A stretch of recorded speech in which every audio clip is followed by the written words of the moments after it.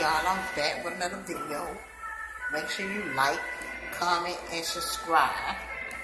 But um, yeah, I had purchased this here. You know, um, this is. I'm gonna try it. Those of you who's familiar with seeing I am going to try this. So, with that being said, you must know Excuse the background. I'm in Walmart. Who already know everybody's favorite place. But, um, you know, I'm just give y'all a little peek. You know, um, my hair, stuff like that. You know, I haven't worn my hair in a long time since my daughter been playing in it, you know. So I had to hide my hair from her, you know, because she like to play in hair. And I ain't too cool with that.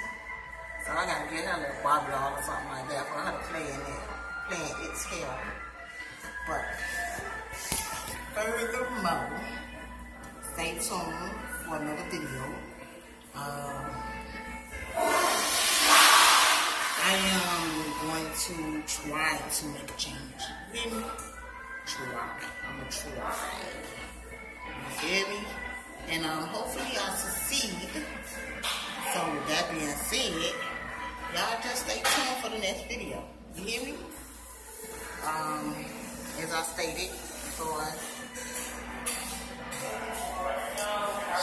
Sade, Shadea, whatever you want to call it, you know what I'm saying? You can call me Sade, but Shadea is the name that I go by. Um, with that being said,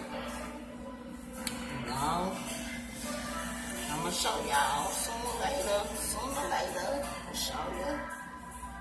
Feel me?